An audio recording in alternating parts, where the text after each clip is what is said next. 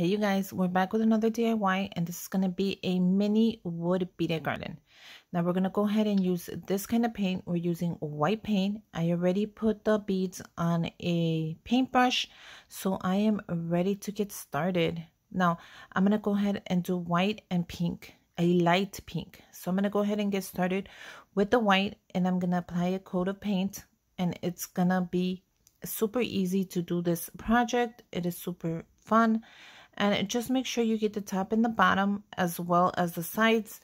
Make sure you give it two coats of paint and let it dry in between paint. We want it to dry that way. Once you're ready to put it together it's super easy and super fast to do. Make sure you subscribe to my channel. Give me a thumbs up and comment down below anything you have. And i'm going to go ahead and paint those white and let them dry. Make sure you um, go ahead and follow me on Instagram. I'll link the link down below. And this is my favorite paint. It's just a white chalk paint that I used. And I'm going to go ahead and use this light pink paint. And it is one of my favorite pink paints that I always grab. I brought it at Walmart. And I love this color. So this is going to be perfect for, you can use this for a, a Valentine's garland. You can use this for a summer garland, a spring garland, Mother's Day garland. You can use this for an Easter garland, anything you want because the colors are perfect. They're a pastel pink and a white. So make sure you paint these pink. Make sure you um, paint the top and the bottom. Let them dry and give it two coats. It's super easy and then we'll be ready to start our garland. So I love this color. It's super easy. It's a beautiful pink and it's ready for summer and spring. So this garland is optional. You can use it so many ways once you make it and you can use it for so many holidays once you make it. And it's going to give your display a beautiful look. Trust me, once it's done. And there you go. We're going to let the pink dry and I painted them really quick just to move a step ahead. I'm going to go ahead and show you the paint and then I'm going to put it away. It's just a pink, light pink paint. It's just like a blush pink and it's perfect for all these garlands. Go ahead and grab yourself some string. I'll be using a burlap string, which I'm going to go ahead and make a hoop on it. Make sure your hot glue gun is running. We're going to need it right now. Make sure your loop is um, long enough and always big enough so you can go ahead and tie it twice if you want. I'm going to go ahead and seal this shut with the hot glue. It's very easy. Pinch it together and it dries super fast. Once you have it sealed, all you're going to do is tie a knot so the beads won't move. Tie a knot or tie two knots, whatever you want. One knot is perfect, especially for this size of beads. It is a smaller size. These are not the big ones. These are the smaller beads. I decided to use those because I thought that would be perfect for my display and the beads wouldn't overthrow the display since I love it so much. It's just a Rae Dunn um, birdhouse that says home. Now let's go ahead and cut this. I already have it pre-measured, so I'm just going to cut it the same amount before I start putting in my beads. Make sure your beads are nice and dry before you do anything. Let's go ahead and make a tassel for this. Now I'm going to go around my fingers 25 to 30 times. It's optional. If you want it on the medium size, do 25. If you want it really nice and thick and chunky, do it 30 times. You can do it as many times as you want, but those are my go-to numbers. Then we cut off the string and we're going to go ahead and use some ribbon. I thought it would be nice to use a couple of just pink ribbon, just something light and thin this time.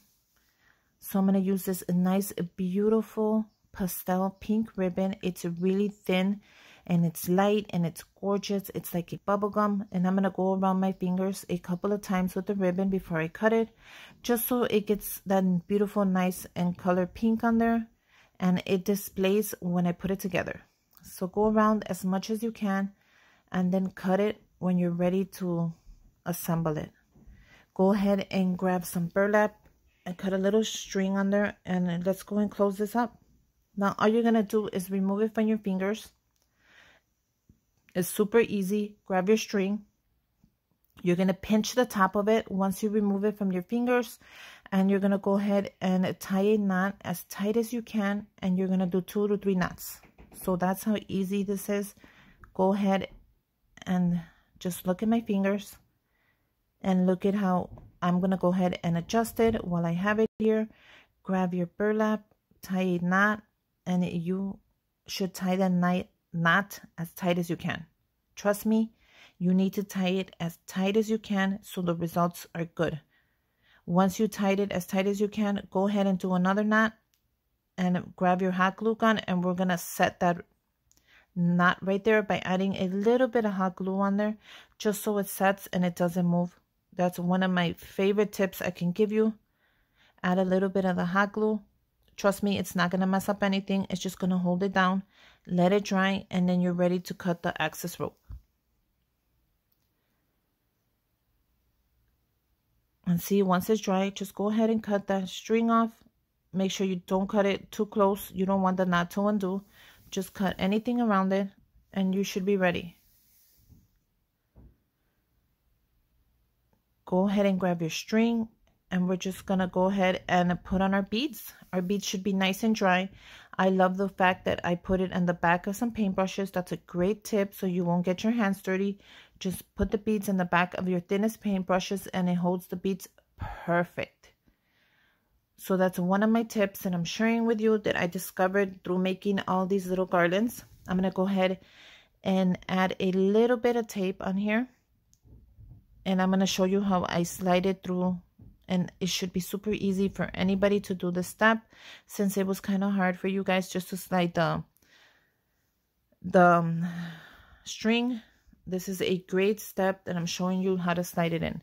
But first is add these beautiful baby beads and they are gorgeous. They're just on the smaller side, but I love them. It looks like I painted them like bubblegum. So let's get started. I'm to do the opposite color. I'm to start with a pink and then do a white, pink, white, and I want to end it with a pink just because I want to show more of the bubblegum color. I thought that would be very pretty, especially when I'm done with this little mini garland. I thought it would be really nice just to show the pink more, since I did add the pink and the tassel. So go ahead and take your time, just slide it through, and you should be ready in no time. So just slide them, take your time. To the opposite color. And then you should end up with your pink. So I did four of the pink and three of the white. Now I'm gonna go ahead and slide it in there. And I'm gonna use the same tip that I showed you just to make it easier. And you can just add it to the back of a paintbrush add a little bit of the clear tape and just slide it in there. Once you have it in there take off the tape and slide out the paintbrush that's how easy it is go ahead and grab it. We're going to go ahead and make a knot. And this knot has to be as tight as you can. Do the same thing. Always make your knots super tight. You don't want nothing moving. Make sure your hot glue gun is running because we are going to glue this together. Go ahead and make your knot. Tight, tight, tight. Pull it, pull it. And once you have it just how you like it, we're going to go ahead and add a little bit of the hot glue just to seal it shut. I don't want nothing moving and I don't want nothing coming out once this um, little garland is ready. And look at how gorgeous it is. All you need is a little dot of the glue, nothing more. It'll get really messy really fast. Go ahead and bring the string all the way around and you're going to bring it four to five times depending on how thick you want it. And make sure every time you bring it around that it touches the hot glue. You're going to seal it shut like that. That way nothing moves ever again. Go ahead and cut it. Make sure that the last piece that you cut touches the hot glue just so it's sealed shut. And there you go. You are ready. You have a mini garland that is adorable. I'm going to add another glue, little piece of glue right there just to seal it shut because it didn't reach and just pinch it in. It's that simple to make. These are so gorgeous. They're going to change any display you put them on. It's going to give it that extra beautiful beautiful um, decor on there. And people, when they go to your house, they're going to love it. And they're going to ask, where did you buy it? And you're going to say you made it with things you already had at home. Because all the supplies, I already had it at home. I didn't buy anything. Now, I'm going to grab the scissors. And all we're going to do is cut through the ribbon and the burlap. Super easy. And look at how gorgeous it came out. This is one of my favorite little mini garlands. I love it. It is so gorgeous. Look at that bubblegum look. And we're going to go ahead and add it to our display right here and see how it comes out and how it hangs. Look at how gorgeous that is. I'm so happy I got this little thin ribbon. I already had it. And it came out perfect for this little project. So always go around your house and look for things you already have before you start any project and just go ahead and use them. I hope you guys make one. And if you do, let me know and comment down below. I would love to see it. And look at how gorgeous it came out. It's beautiful. And until next time, bye you guys.